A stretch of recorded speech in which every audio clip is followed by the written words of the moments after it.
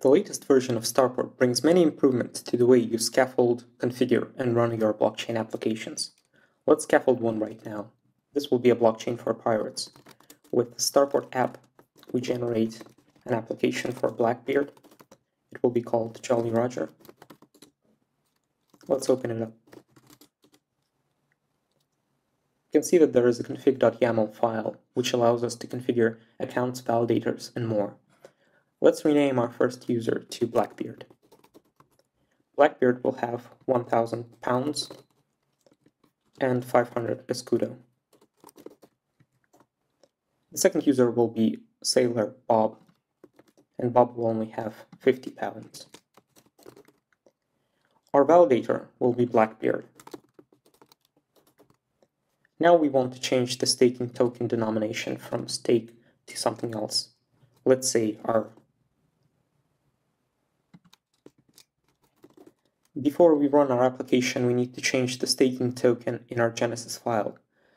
To do that, we use the Genesis property inside app state, staking module, params, bond, denom.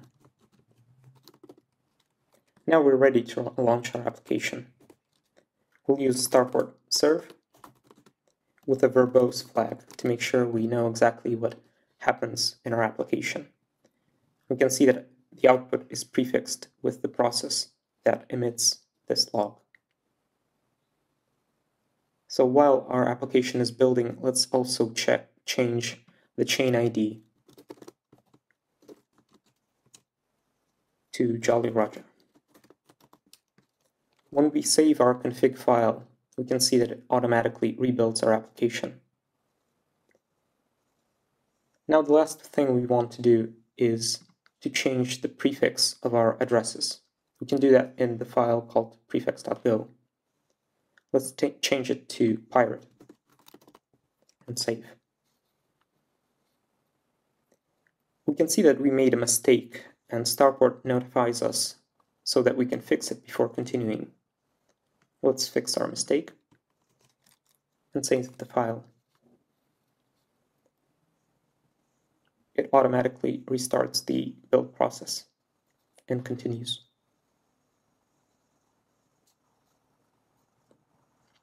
Now that it has built our application successfully, let's check our users with our Jolly CLI.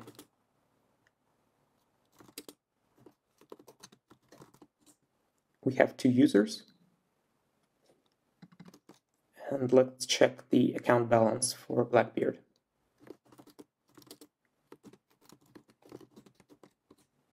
We can see that Blackbeard has the right address prefix and the correct amount of coins. The last thing we need to do is to change the account prefix in our front-end application.